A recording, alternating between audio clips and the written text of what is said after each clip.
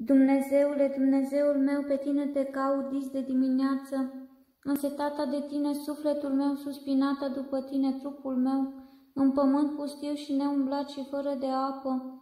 Așa în locul cel sunt m-am arătat ție ca să văd puterea ta și slava ta, că mai bună este mila ta decât viața, buzele mele te vor lăuda, așa te voi binecuvânta în viața mea și în numele tău voi ridica mâinile mele ca de seu și de grăsime să se sature sufletul meu și cu buze de bucurie te va lăuda gura mea. De mi-am adus aminte de tine în așternutul meu, în dimineața am cugetat la tine, că ai fost ajutorul meu. Și într-o acoperământul aripilor tale mă voi bucura. Lipitul s-a sufletul meu de tine și pe mine m-a sprijinit dreapta ta.